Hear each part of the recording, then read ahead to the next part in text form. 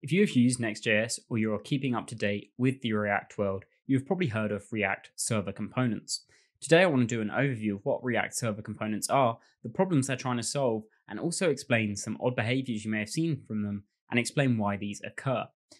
So, to get started with a deep dive onto what React Server Components are, I first need to take a tour of what came before, so client side rendering and also server side rendering. So, to jump into it, we'll talk about client side rendering. So client side is what you may have seen if you built an application with Create Next app. And now Create Next app is actually recommended not to use. So if we look at the react.dev documentation, you won't actually see a mention of Create Next app anymore. It will actually tell you uh, if you want to build a new website, they recommend picking a React powered framework. So you've got frameworks like Remix or Next.js, Gatsby, and various things like this. So as I said, that's not what's recommended by React anymore. But what Create Next app would essentially do is let's say a user goes to my website, so jamesshopland.com. The server would actually return some HTML that looks like this. So it will just literally have a div with a root in it, and then it will simply have a script with a bundle.js. And that's just literally the HTML the client would receive. That script tag with the bundle.js is what would include all of the application code and also all of the third party libraries that you've uh, inserted. Once downloaded, that would then be parsed, and then React would load that and it would have to insert within this root component all of the things that you've coded within your application. So as you see here, later when React and the JavaScript has been parsed and gone over this, it's then inserted into that div ID root, all of this stuff here. Now, obviously, the issue with this is you're downloading all of the bundle.js, all of the third party code, and it's being run straight away. So the user will sit there sort of staring at a blank screen for a while while this is downloading and waiting for it to be parsed. But then they'll have all of this application.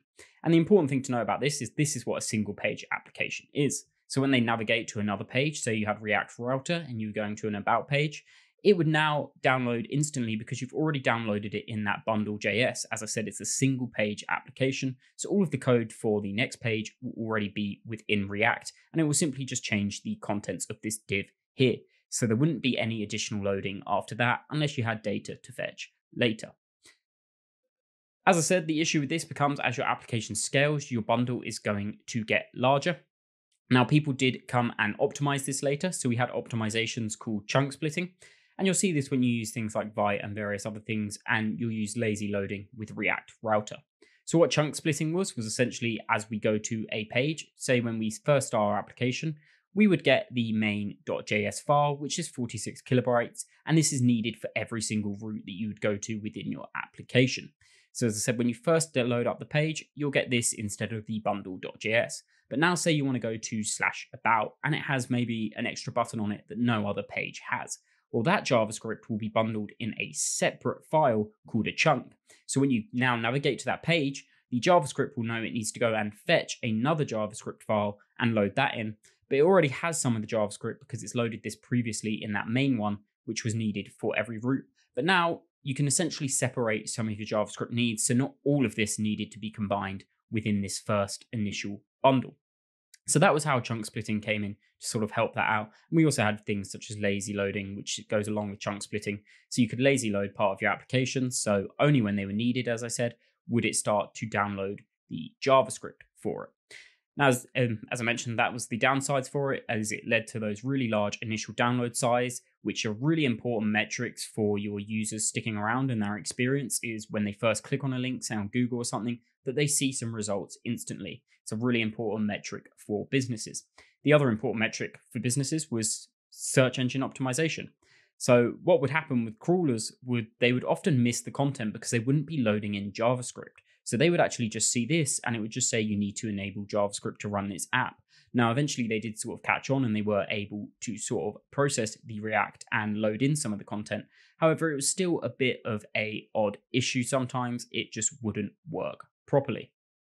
So what came next was server-side rendering, and you saw this from frameworks such as Gatsby. So server-side rendering, essentially as the user would visit jamesshopland.com, is the server would now return some HTML with everything in it that we need. So as you saw before, what we had was that HTML here. This was all that's being returned in that client-side routing. But now what we have is the server is going to return with all of the HTML in it, because essentially what the server's done, gone and done, is it's loaded that page for us and seen what HTML needs to be sent to the client. So what we've done is we've gone to jamesshopland.com. The server then has loaded the page essentially within React. It said, what HTML do I need to send to the client? And it sent all of this HTML formatted like this. So the user would see something initially. They would see all of this sort of code and they would get your CSS as well and that's downloaded in. Obviously, you could have inline styles as well, but essentially the user would see something pretty much near instantaneously as they downloaded the HTML. But you do still need a bundle.js. And the reason you need the bundle.js is say we had a button in here, for example. The button, when you clicked on it, wouldn't be able to do anything because it'd be rendering in from pure HTML. It would have no JavaScript attached to it. So if you had some use states, some use effects that this button needed to tie into, it wouldn't be able to do that because as I said, this is just the HTML. The JavaScript would then come later and it would have React in it. And this was the process that React called hydration. So React would come in, it would see all of your code here, and it'd be able to attach itself to the elements that it needed to where it knows it's needed. So for example, if the server rendered that button and we had a button here instead of this A tag, React would then on the client's device go over it and say, ah, oh, that's the button related to this component that has this use effect on it and add that JavaScript in later. So the site wouldn't technically be interactive when it first loads. However, it would have been visible. Now we can actually see an example of what I've been talking about here. So with create next app, if I go into this and I just quickly disable JavaScript. So this was a simple application built with create next app and I refresh the page, you will see that we'll see absolutely nothing. Now, if I go to another website, such as National Geographic, which has been built with Gatsby apparently, if I now go into here and say I click on my menu, if I inspect element, if I click on my menu, you'll see that this will pop up. So this is running JavaScript at the moment. If I inspect the page and turn off JavaScript, so disable JavaScript, and I give that a refresh again, what you'll see is we, we actually have content here. It, it pretty much looks the same. And all of this is actually going to be clickable because these are using A tags, which are just in HTML and can just navigate to a new link. However, what you'll notice now is if I keep clicking on this menu, nothing will happen. That's because this has been coded with JavaScript to react to an event of onClick. However, there is no JavaScript loaded. JavaScript would then be needed to come in later, and as I said, that's what React calls hydration, and hydrate that component and know that it has that on-click event. So that is server-side rendering. So the server handles the rendering of it, so it gets out some HTML. So here we have the HTML, the images, the CSS, that can all be downloaded, and then React will go in later and make the things interactive that it needs to make interactive. So that is sort of the idea of client-side rendering and server-side components. And this is, or server-side rendering, sorry, but that's the important distinction is these are not React server components. What are React server components then? Well, essentially you'll see here we have a very basic example of what one is, and this is from an application made by Lee Robinson, who works for Vercel, to explain essentially what React server components are. It was a demo of it, which is just a Hacker News um, demo site. I'll show you this in a minute. But essentially, we have this function here, and you'll notice it's async for a start, this server component. And the other thing is we can fetch data or even make database calls to our own database within the component. And this is really, really cool. And this will only ever be rendered on the server. That's the really important thing to know about server components. Is essentially React on the server will see this, it will say, what HTML can I generate from this and send to the user. And once it's sent to the user, it will not send any JavaScript related to that component. So this fetch won't go in there. What this has said allows you to do is put in your own database calls to your own database without worrying about leaking that to the front end user. So you could have your own fetch API with your own API key in it in this fetch call, and it wouldn't get leaked to the user because when this is sent to the user, that fetch call would have been done on the server and already put into the HTML for you and no JavaScript will be sent over with that. So as, as it says here, this server renders it into HTML and only that will be sent. But what if we did want a button on this, for example? Well, if we wanted a button, we would have to use this directive use client. Now, this is what you may see around in various applications if you've gone through them, and you may have been confused by it.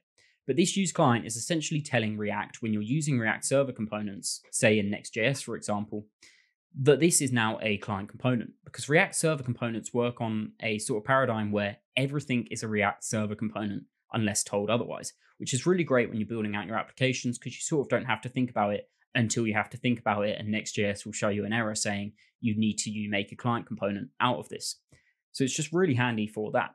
But essentially, if we're going to be using effect, using state, going to have on clicks, we need a client component because all of that has to be done on the user's device because otherwise, how would you know they clicked on something? So we put this use client directive up here, and this just tells React, as I said, that this is now a client component.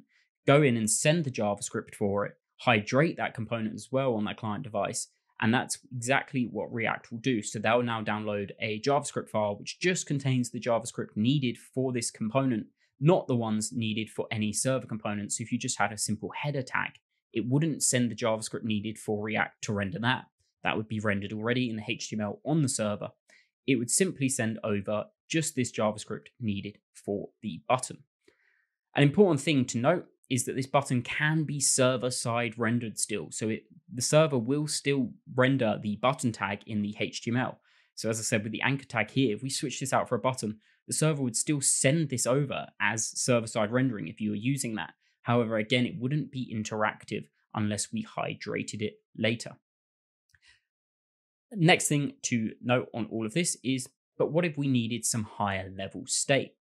So what I'm going to do here is I've got some examples here but if I move over to a Next.js application, so let's say I go into a Next.js application that I've worked on that had a theme provider. So the theme provider was used to tell every other application whether I was in dark mode or light mode, or in the system default mode, which was essentially what the user had asked for.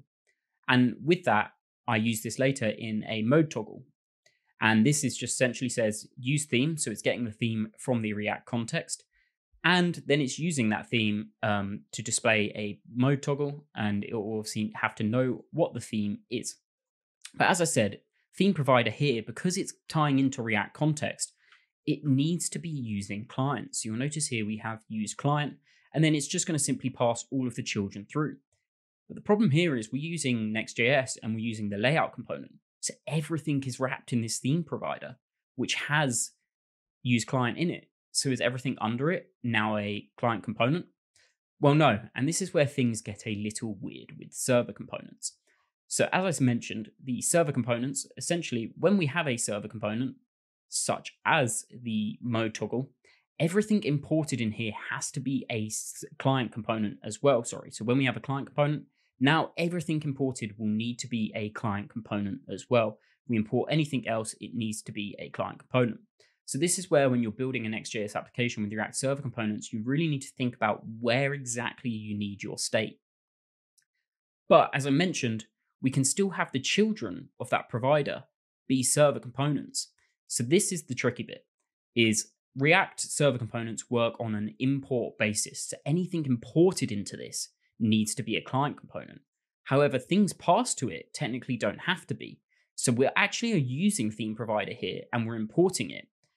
But then site footer, site header, these could still be server components because they're not imported in that client component. They're just used later by that client component. As far as React server components is concerned, it will read the layout file and see what it needs to render on the server. So it will go in and render this on the server, and then it will go into theme provider and say, ah, oh, that needs to be on the client. But the children could still technically have been passed through as a server component. So that's the bit that gets a little bit tricky for people as they, they come across these errors with theme providers and realize they need it at the top level of their application, but how can they do that with server components? So that's the way they do it. Now, to show you the benefits, of course, of React Server Components, if I just go back to this site, I'll show you the site I was talking about earlier with Lee Robinson and that Hacker News example. If I go into this and inspect, what you see here is we have a really quick loading site, which is just a clone of what Hacker News would be. And again, I'll do the same thing of disabling JavaScript in here, and I'll refresh the page, and you'll see that it all loads in for me. And as I said, that's because this is now server-side rendered. All of this is using React Server components. And the other important thing is I'm not making any fetch calls on my, my side, on the client side. It's not making any fetch calls to get this Hacker News data. This was all gotten by the server. So as I said, that's really cool for when we need to contact our own database or want to use our own API key to use a private API we have and not have the user do that. Because before you'd have to abstract that away to your own API that would then make another API call with your private key in it. and there would be a lot of security implications that you'd need to take care of there. With this, you can simplify some really basic apps to not even have API endpoints because you can now just literally put a fetch straight in to your React server component, as I showed up here. The other really cool thing is with the way that we sort of have to think about this, because as I said, now everything will become a child component. So you really do need to think about where sort of you need those states and different things. And it's just really cool for basic things like headers and footers are all going to be server side now. And it's really simple for things like that. Now you may be asking why, why, uh, why this over? What do I pick? Do I pick client side? Do I pick server side? Do I pick React Server components? Well, the answer to this is essentially you're picking both. When you use Next.js, you're using a combination of server side rendering and React Server components. As I said before, when we have used client, it doesn't mean that it's not server side rendered. It means it's not a React server component. This can still be server side rendered in so much as it will go in and see what HTML is needed to be sent. But then it will also send JavaScript later. Remember, React server components send no JavaScript with them. They're pure HTML, but all of it is done on the server and it will never reach the client. Whereas when you have a client component, technically it's rendered on the server first, but then it also has to send it to the client to render or hydrate with React. So, what this means for server components, and another important thing that trips people up, is this will only ever be rendered once. So, it will only ever render on the server. So, let's say we had a call for get time or get date within that. What would be returned would only ever be the date of when the server rendered that, and it would never update because it's pure HTML now. It won't have the JavaScript to update that time. So that's another thing that can really trip people up. So if you have like say a light counter that you're getting from your database, it wouldn't update as it was updating. You would need to then make that a client component if you wanted that component to update in the future. That is a really top level overview of what React server components are. And they get even cooler than that. They have things such as forms and server actions, where you then use a directive called use server instead of use client. However, this is such a big topic that I actually plan on having another video on Next.js forms and their server actions.